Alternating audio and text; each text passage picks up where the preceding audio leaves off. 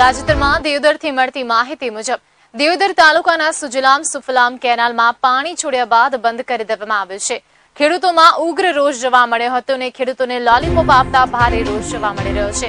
ટૂંક સમયમાં પાણી છોડવામાં નહીં આવે તો સત્યાગ્રહની ચીમકી આપવામાં આવે છે. તમને ફરીવાર જણાવી દઈએ દેવદર તાલુકાના ખેડૂતોમાં ઉગ્ર રોષ જોવા મળી રહ્યો છે.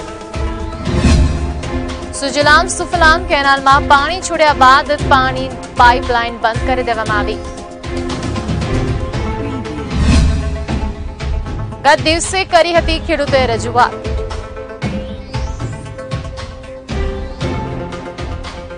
તમને ફરીવાર જણાવી દઈએ દિયોદર તાલુકાના સુજલામ સુફલામ કેનાલમાં પાણી છોડ્યા બાદ તે પાણી બંધ કરી દેવામાં આવ્યું છે.